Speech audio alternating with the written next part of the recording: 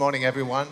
My name is Tom Greenaway, and I'm a partner developer advocate from Google Sydney with a focus on the indexability of progressive web applications. Hi, everyone. I'm John Mueller. I'm a Webmaster Trends analyst from Zurich in Switzerland. It's great to see so many of you here, even at this early hour.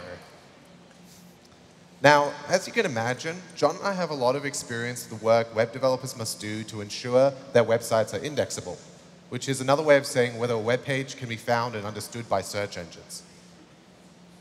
But do search engines see all web pages exactly the same way? Are some pages more complex than others? And what about modern JavaScript-powered websites? Today, we'll be taking a closer look into what it takes for a modern JavaScript-powered website to be properly indexed by search crawlers, and especially Google search.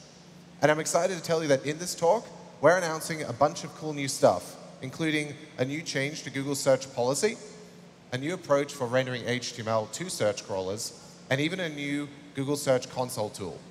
It sounds like a lot of stuff, right? Well, that's because it is. So let's get started. Now, a long time ago, before I joined Google, I was building e-commerce sites. And I personally felt there was a lot of mystery at times behind Google search, especially on the topic of indexability. I would wonder why do some of my pages appear in Google search and some don't? And what's the difference between them? Will JavaScript be rendered correctly? Uh, will JavaScript rendered content appear properly and be indexed? And is lazy loading an image safe to do? These are really critical questions, and as developers ourselves, we understand the frustration behind this mystery. So today, John and I are going to do something we very rarely do at Google. We're going to pull back the curtain a little bit and reveal some new piece of information about how Google Search sees the web and indexes it. And with this new knowledge and a few new tools, you'll have concrete steps you can take to ensure the JavaScript-powered websites you're building are visible to Google Search. Now, I want, to, I want to remind you that this talk is about modern JavaScript-powered websites. And typically, these websites will be powered by JavaScript frameworks, such as Angular, Polymer, React, or Vue.js. And who doesn't love a great web development framework that's easy to use and helps you build your sites faster and works great for your users?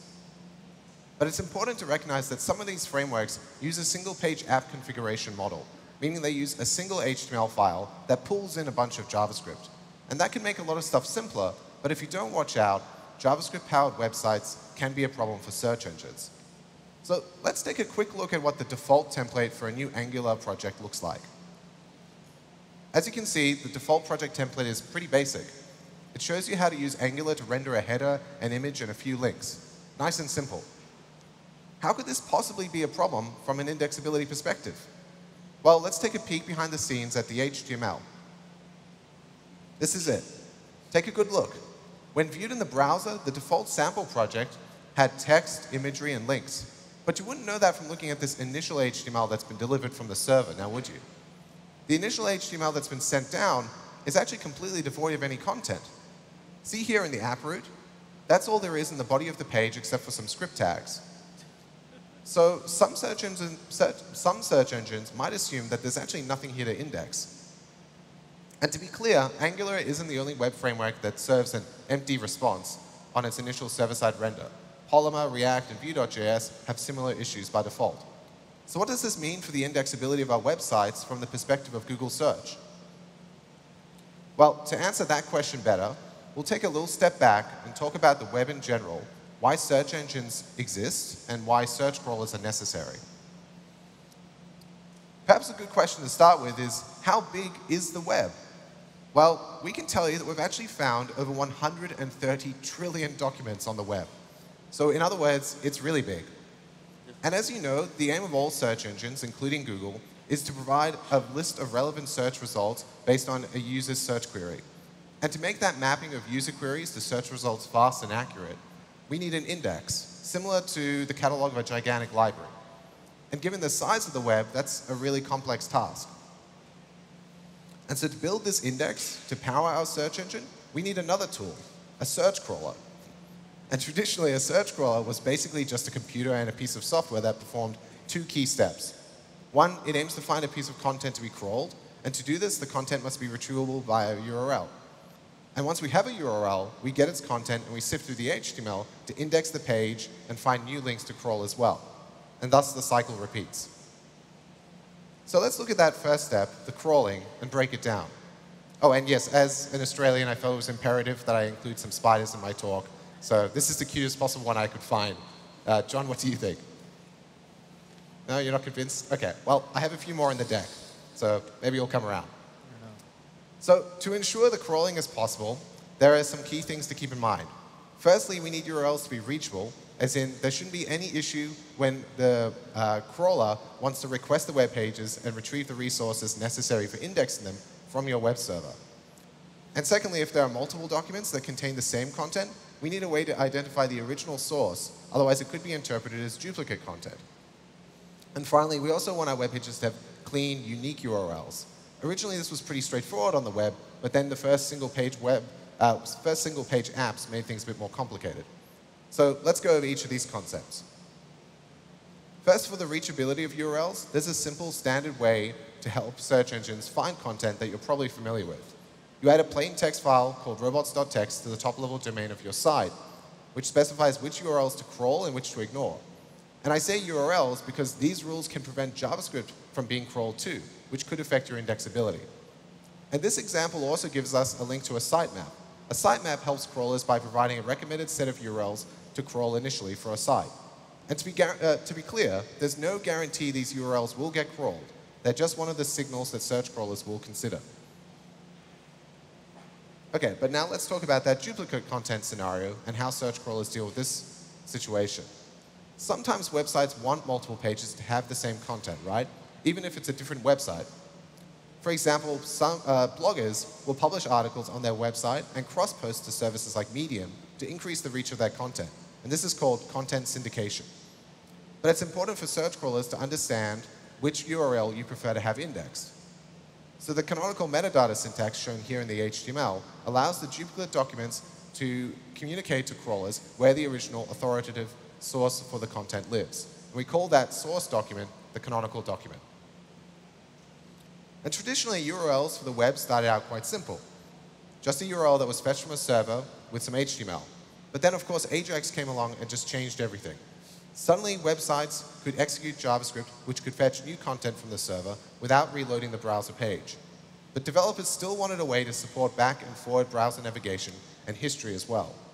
So a trick was invented which leveraged something called the fragment identifier. And its purpose is for deep linking into the subcontent of a page, like a subsection of an encyclopedia article. And because fragment identifiers were supported by browsers for history and navigation, this meant developers could trick the browser into fetching new content dynamically without reloading the browser page, and yet also support the history and the navigation we love about the web. But we realized that using the fragment identifier for two purposes, subsections on pages and also deep linking into content, it wasn't very elegant. So we moved away from that. And instead, another approach was proposed to use the fragment identifier followed by an exclamation mark, and it, which we call the hashbang. And this way we could discern the difference between a traditional URL using the fragment identifier for the sub-content on a page versus a fragment identifier being used by JavaScript to deep link into a page. And this technique was recommended for a while. However, nowadays there is a modern JavaScript API that makes these old techniques less necessary, and it's called the History API. And it's great because it enables managing the history, of the, uh, history state of the URL without requiring complete reloads of the browser, all through JavaScript. So we get the best of both worlds. Dynamically fetched content with clean traditional URLs. And I can tell you that from Google's perspective, we no longer index that single hash workaround, and we discourage the use of the hashbang trick as well. Okay, well, that's, that's crawling out of the way. Now let's move on to the indexing step. So web crawlers ideally want to be able to find all the content on your website. If the crawlers can't see some content, then how are they going to index it? And the core content of the page includes all the text, imagery, video, and even hidden elements like structured metadata. In other words, it's the HTML of the page. But don't forget about that content you dynamically fetch uh, either. This could be worth indexing as well, such as you know, Facebook or Disqus comments. Crawlers want to see this embedded content too. And also, this might seem really obvious, but I want to emphasize that at Google, we take HTTP codes pretty seriously, especially 404 not found codes. If crawlers find a page that has a 404 status code, then they probably won't even bother indexing it. And lastly, of course, a crawler wants to find all the links on a page as well, because these links allow the crawlers to crawl further. So now let's, let's, let's just talk a bit about those links quickly, because honestly, they're some of the most important parts of the web. How do search crawlers like Google find links? Well, I can't speak for all search crawlers, but I can say that at Google, we only analyze one thing, anchor tags with href attributes, and that's it. For example, this span here that I've just added, it won't get crawled because it's not an anchor. And this additional span I've added, even though it's an anchor, it doesn't have an href attribute. But if you are using JavaScript, such as with the history API that I mentioned earlier, to navigate the page purely on the client and fetch new content dynamically, you can do that, so long as you use the anchor tags with href attributes, like in this last example. Because most search crawlers, including Google, will not simulate, uh, simulate navigation of a page to find links. Only the anchor tags will be followed for linking. But wait, is that really everything? In order to have sifted through the HTML to index the page, we needed to have the HTML in the first place. And in the early days of the web, the server likely gave us all the HTML that was necessary. But nowadays, that's not really the case. So let's insert a step between crawling and indexing, because we need to recognize that the search crawlers themselves might need to take on this rendering task as well. Otherwise, how will the search crawler understand the modern JavaScript powered websites we're building? Because these sites are rendering their HTML in the browser itself using JavaScript and templating frameworks, just like that Angular sample I showed you earlier. So when I say rendering, I don't mean drawing pixels to the screen. I'm talking about the actual construction of the HTML itself. And ultimately, this can only ever happen on either the server or on the client, or a combination of the two could be used, and we call that hybrid rendering. Now, if it's all pre-rendered on the server, then a search engine could just index that HTML immediately. But if it's rendered on the client, then things get a little bit trickier, right? And so that's going to be the challenge that we'll be discussing today. But one last term, you might be wondering, what is Google Search's crawler called? Well, we call it Googlebot, and we'll be referring to it a lot in this talk. And I think another detail to note is that I said that a search crawler is basically just a computer with some software running on it. Well, obviously, maybe in the 90s that was the case, but nowadays, due to just the sheer size of the web, Googlebot is comprised of just thousands of machines uh, running you know, all this distributed software that's constantly crunching data to understand all of this continuously expanding information on the web. And to be honest, I think we sometimes take for granted just how incredible Google Search really is. For example, I recently learned that with the Knowledge Graph, we have a, which is a database of all the information we have on the web, it actually maps out how more than 1 billion things in the real world are connected, and over 70 billion facts between them. It's kind of amazing. Okay, well, now that we know the principles of a search crawler, let's see how these three different key steps, crawling, rendering, and indexing, all connect. Because one crucial thing to understand is the cycle of how Googlebot works, or how it should ideally work.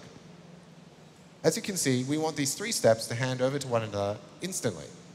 And as soon as the content is fully rendered, we want to index it to keep the Google search index as fresh as possible. This sounds simple, right? Well, it would be if all the content was rendered on the server and complete when we crawl it. But as you know, if a site uses client-side rendering, then that's not going to be the case, just like that Angular sample I showed you earlier. So what does Googlebot do in this situation? Well, Googlebot includes its own renderer, which is able to run when it encounters pages with JavaScript. But rendering pages at the scale of the web requires a lot of time and computational resources. And make no mistake, this is a serious challenge for search crawlers, Googlebot included. And so we come to the important truth about Google Search we would like to share with you today which is that currently the rendering of JavaScript-powered websites in Google Search is actually deferred until Googlebot has the resources available to process that content. Now you might be thinking, okay, well, what does that really mean?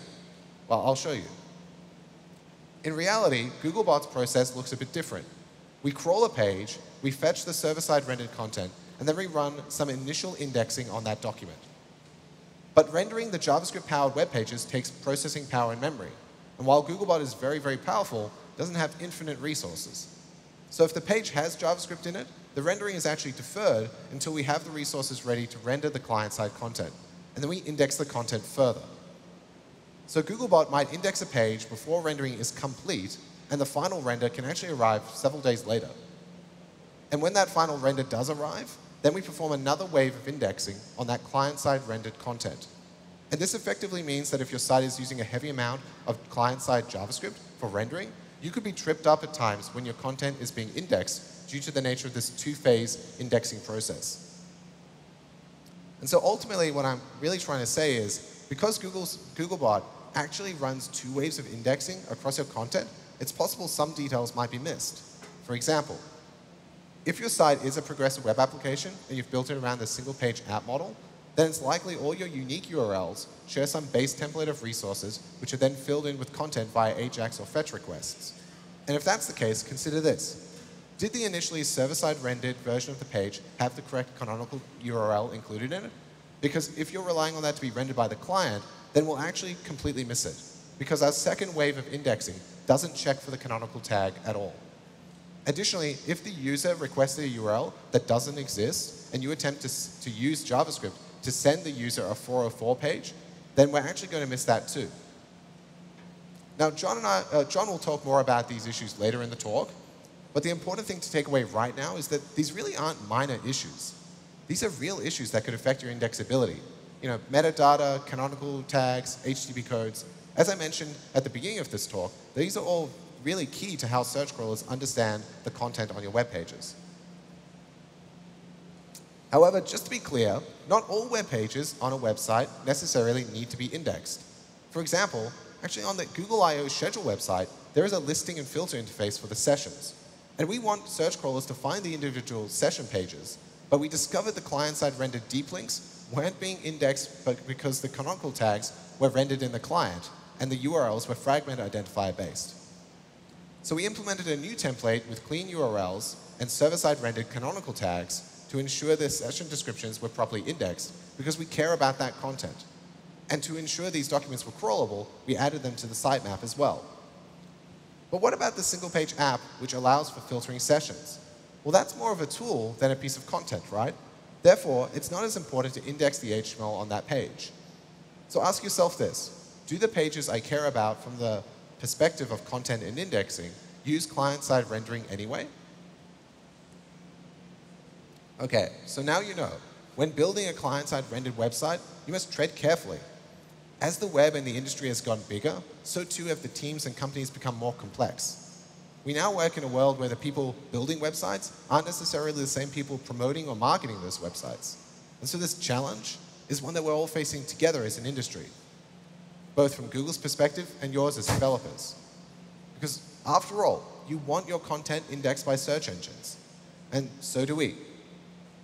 Well, this seems like a good opportunity to change tracks. So, John, do you want to take over and tell everyone about the Google search policy changes and some of the best practices they can apply so we can meet this challenge together? Sure.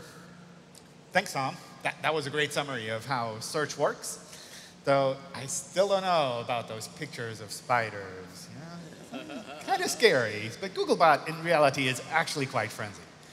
Anyway, as Tom mentioned, the indexing of modern JavaScript-powered websites is a challenge. It's a challenge both for Google as a search engine and for you all as developers of the modern web. And while developments on our side are still ongoing, we'd like to help you to tackle this challenge in a more systematic way. So for that, we'll look at three things here. The policy change that uh, we mentioned briefly before, some new tools that are available to help you diagnose these issues a little bit better, and lastly, a bunch of best practices to help you to make better JavaScript-powered websites that also work well in search. So we've talked about client-side rendering briefly and server-side rendering already. Uh, client-side rendering is a traditional state where JavaScript is processed on the client, that would be the user's browser, or on a search engine. Uh, for server-side rendering, the server so your server will process the JavaScript and serve mostly static HTML to search engines. Often, this also has speed advantages. So especially on lower end devices, on mobile devices, JavaScript can take a bit of time to run. So this is a good practice. For both of these, we index the state as ultimately seen in the browser. So that's what we pick up, and we try to render pages when we need to do that. There's a third type of rendering that we've talked about in the past. It starts in the same way, in that uh, pre-rendered HTML is sent to the client, so you have the same speed advantages there. However, on interaction, or after the initial page load, the server adds JavaScript on top of that. And as with server-side rendering, our job as a search engine is pretty easy here. We just pick up the pre-rendered HTML content. We call this hybrid rendering. This is actually our long-term recommendation. We think this is probably where things will end up in the long run. However, in practice, implementing this can still be a bit tricky, and most frameworks don't make this easy. Um, a quick call out to Angular, since we featured them in the beginning as an example of a, a page that was hard to pick up. Uh, they have built a hybrid rendering mode with Angular Universal that helps you to do this a little bit easier. Over time, I imagine more frameworks will have something similar to make it easier for you to do this in, in practice. However, at least at the moment, if your server isn't written in JavaScript, you're going to be dealing with kind of double maintenance of controlling and templating logic as well. So what's another option? What's another way that JavaScript sites could work well with search? We have another option that we'd like to introduce. We call it dynamic rendering. In a nutshell, dynamic rendering is the principle of sending normal client-side rendered content to users and sending fully server-side rendered content to search engines and to other crawlers that need it. This is the policy change that we talked about before. So we call it dynamic because your site dynamically detects whether or not the requester is a search engine crawler like Googlebot, and only then sends the server-side rendered content directly to the client. You can include other web services here as well that can't deal with rendering, for example, maybe social media services or chat services, anything that tries to extract structured information from your pages. And for all other requesters, so your normal users, you would serve your normal hybrid or client-side rendered code. This also gives you the best of both worlds and makes it easy for you to migrate to hybrid rendering for your users over time as well. Uh, one thing to note, this is not a requirement for JavaScript sites to be indexed. As you'll see later, Googlebot can render most pages already. For dynamic rendering, our recommendation is to add a new tool or step in your server infrastructure to act as a dynamic renderer. Uh, this reads your normal client-side content and sends a pre-rendered version to search engine crawlers. So how might you implement that? Um, we have two options here that uh, help you to kind of get started. The first is Puppeteer, which is a Node.js library which wraps a headless version of Google Chrome underneath. This allows you to render pages on your own. Another option is Rendertron, which, is a, which you can run as a software as a service that renders and caches your content on your site as well. Both of these are open source, so you could make your own version or use something from a third party that does something similar as well.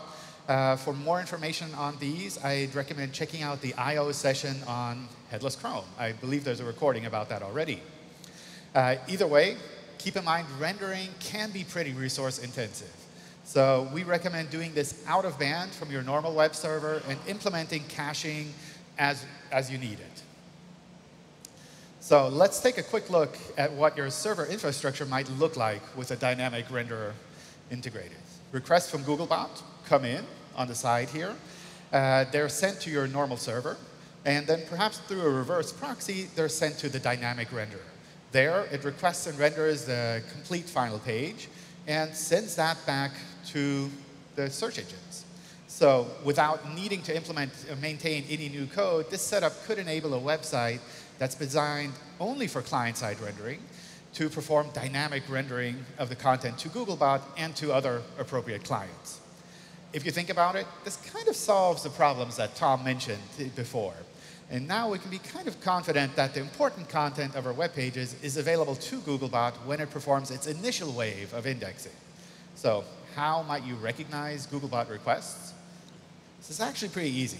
So the easiest way to do that is to find Googlebot in the user agent string. Uh, you can do something similar for other services uh, that you want to serve pre-rendered content to. And for Googlebot, as well as some others, you can also do a reverse DNS lookup if you want to be sure that you're serving it just to legitimate clients. Uh, one thing to kind of watch out for here is that if you serve adapted content to smartphone users versus desktop users, or you redirect users to different URLs depending on the device that they use, you must make sure that dynamic rendering also returns device-focused content. In other words, mobile search engine crawlers, when they go to your web pages, they should see the mobile version of the page, and the others should see the desktop version.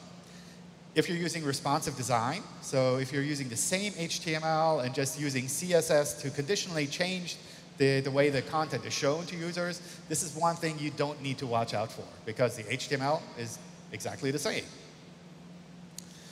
Uh, what's not immediately clear from the user agents is that Googlebot is currently using a somewhat older browser to render pages.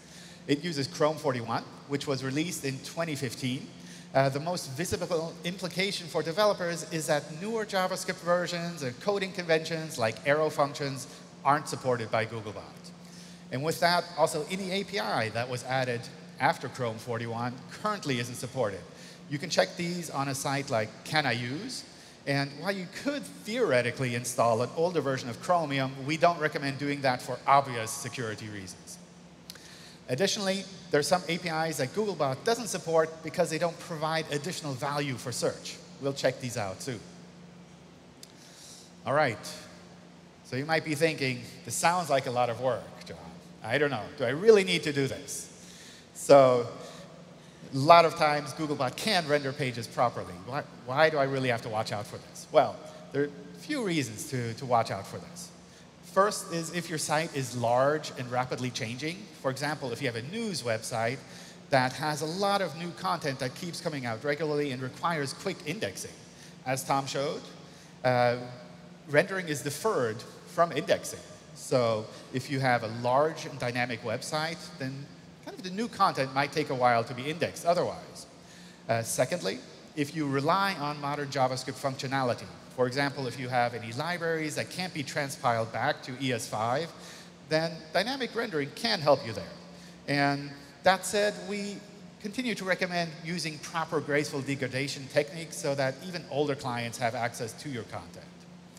And finally, there's a, third reason to also look into this in particular, if you're using social media sites, if your site relies on sharing through social media or through chat applications, if these services require access to your page's content, then dynamic rendering can help you there too.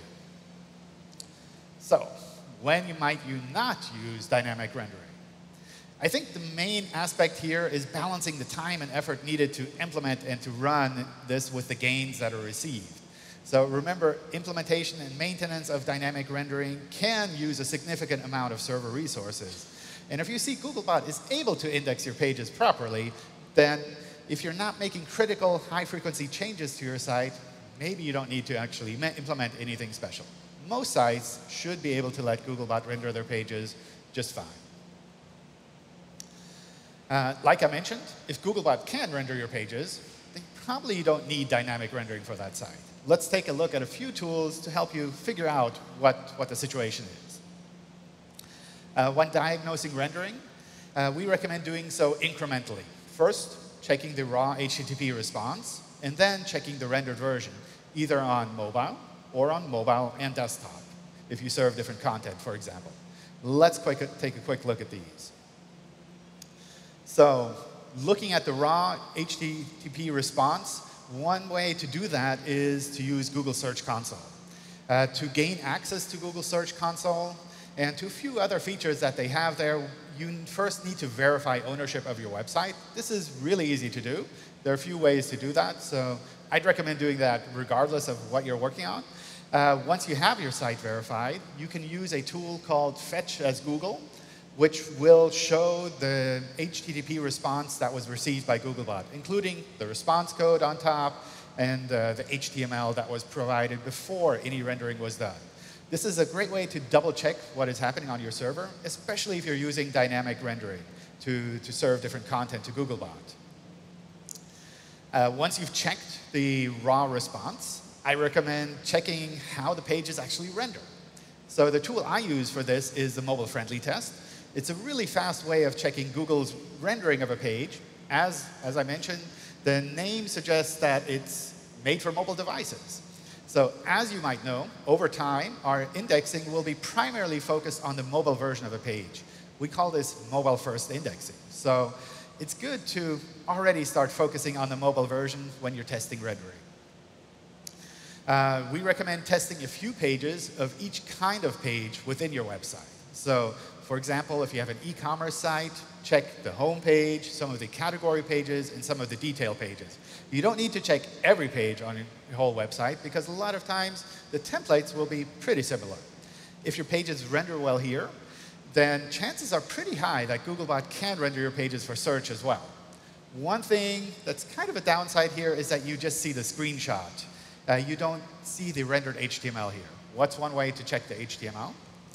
Well, new for I/O, I think we launched this yesterday. Uh, we've added a way to review the HTML after rendering. This is also in the mobile-friendly test. It shows you what was created after rendering with the mobile Googlebot. Includes all of the markup for links, for images, for structured data, any invisible elements that might be on the page after rendering. So what do you do if the page just doesn't render properly at all? We also just launched a way to get full information about loading issues from a page as well. On this uh, part within the mobile-friendly test, you can see all of the resources that were blocked by Googlebot. So this could be JavaScript files or API responses. Uh, a lot of times, not everything needs to be crawled, kind of like Tom mentioned. Uh, for example, also if you have tracking pixels on a page, Googlebot doesn't really need to render those tracking pixels. But if you use an API to pull in content from somewhere else, and that API endpoint is blocked by robots.txt, then obviously we can't pull in that content at all. An aggregate list of all of these issues is also available in Search Console. So when pages fail in a browser, usually I check the developer console for more information to see more details on exceptions. And new for I/O, one of the most requested features from people who make JavaScript-powered sites for search is also showing the console log when Googlebot tries to render something. This allows you to check for all kinds of JavaScript issues. Uh, for example, if you're using ES6 or if you just have other issues with the JavaScript when it tries to run. This makes my life so much easier because I don't have to help people with all of these uh, detailed rendering issues that much. Uh, desktop is also a topic that still comes up. Um, as you've seen in maybe some of the other sessions, desktop isn't quite dead. So you can run all of these diagnostics in the rich results test as well. Uh, this tool shows the desktop version of these pages. So now that we've seen how to diagnose issues, what kind of issues have we run across with modern JavaScript-powered sites? What patterns do you need to watch out for and handle well on your side.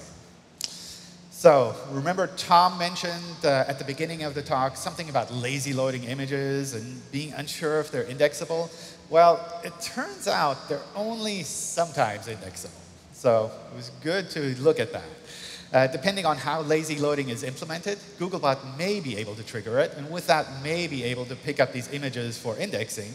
Uh, for example, if the images are above the fold and you're lazy loading kind of runs those images automatically, then Googlebot will probably see that. However, if you want to be sure that Googlebot is able to pick up lazy loaded images, one way to do that is to use a no-script tag. So you can add a no-script tag around a normal image element, and we'll be able to pick that up for image search directly.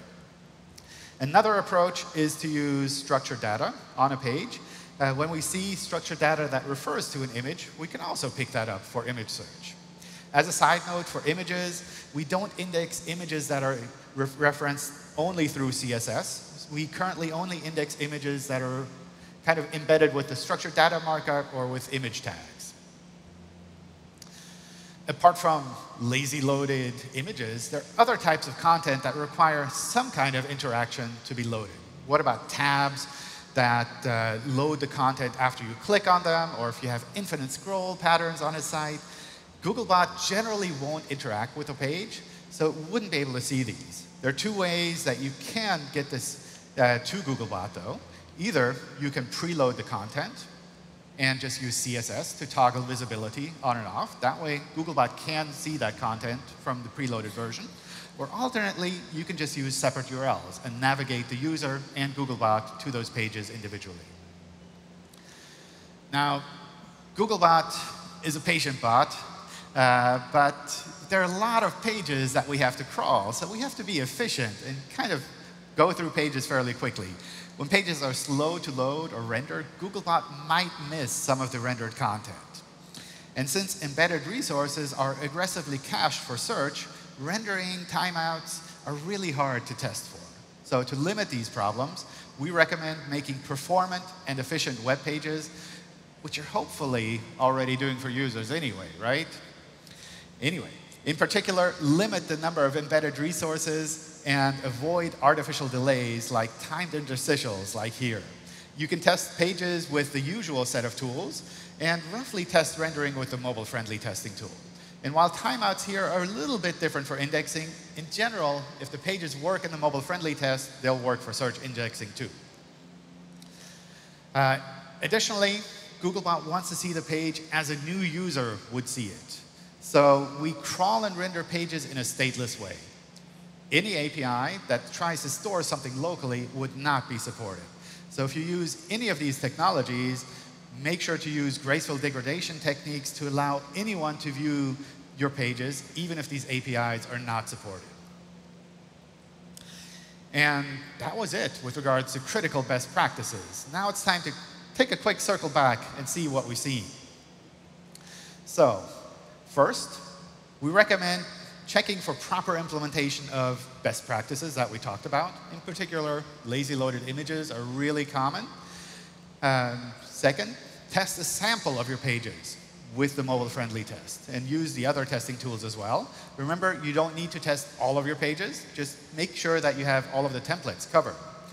And then finally, if pages are large and if sites are large and quick changing, and you, or you can't reasonably fix rendering across a site, then maybe consider using dynamic rendering techniques to serve Googlebot and other crawlers a pre-rendered version of your page. And finally, if you do decide to use dynamic rendering, make sure to double check the results there as well. One thing to keep in mind, indexing isn't the same as ranking. But generally speaking, pages do need to be indexed before their content can appear in search at all. I don't know, Tom, do you think that covers about everything? Well, it was a lot to take in, John. Um, there was some amazing content, but I guess one question I have, and I think maybe other people in the audience have this on their mind as well, is is it always going to be this way, John? That's a great question, Tom. I don't know. Is, I think things will never stay the same. So, as you mentioned in the beginning, this is a challenge for us that's important. Within Google Search, we want our search results to reflect the web as it is, regardless of the type of website that's used. So our long-term version is that you, the developers, shouldn't need to worry as much about this for search crawlers. So circling back on the diagram that uh, Tom showed in the beginning with deferred rendering, one change we want to make is to move rendering closer to crawling and indexing. Another change we want to make is to make Googlebot use a more modern version of Chrome over time. Both of these will take a bit of time. I don't like making long-term predictions, but I suspect it'll be at least until end of year until this works a little bit. And similarly, we trust that rendering will be more and more common across all kinds of web services. So at that point, dynamic rendering is probably less critical for modern sites. However, the best practices that we talked about, they'll continue to be important here as well. How does that sound, Tom? That sounds uh, really great.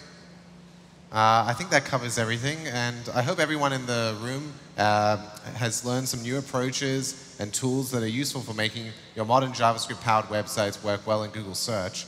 Uh, if you have any questions, we'll be in the mobile web sandbox area together with the Search Console team. And alternatively, you can always reach out to us online as well, be it through Twitter, our office hour, uh, live office hours hangouts, and in the Webmaster Help Forum as well. So thanks everyone for your time. Thank you.